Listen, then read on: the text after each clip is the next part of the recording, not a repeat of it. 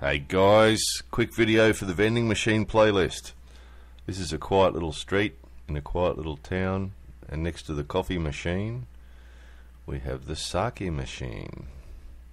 So I've already shown you on the vending machine playlist the beer vending machines and the cocktail vending machines. So here's the sake vending machine in the middle of nowhere.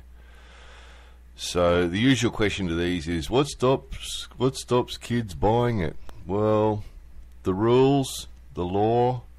Um, these guys have a bit more respect for that sort of stuff, so they know they're not supposed to buy it. So most of them don't. They're sort of busy with other things to do, you know, and I mean they can access alcohol if they want to, but you know they've got other things to do, so most of them wouldn't bother. Anyway, more videos coming soon.